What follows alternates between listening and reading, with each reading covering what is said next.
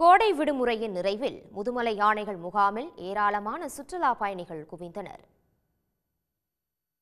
கூடலூர் அருகே உள்ள முதுமலை வளர்ப்பு யானைகள் முகாமிற்கு படையெடுத்த சுற்றுலா பயணிகள் யானைகளுக்கு உணவு வழங்கப்படுவதை படம் பிடித்து உற்சாகமடைந்தனர். முதுமலை புலிகள் காப்பகம் ஆசியாவின் மிக பழமையான புலிகள் காப்பகமாக இருந்து வருகிறது. இங்கு யானைகளை அடக்குவதற்கான கும்கி யானைகள் சவாரிக்கு பயன்படுத்தப்படும் யானைகள் முதுமலையில் உள்ள யானைகள் மற்றும் குட்டி யானைகள் என இருபத்தி ஏழு யானைகள் பராமரிக்கப்பட்டு வருகின்றன.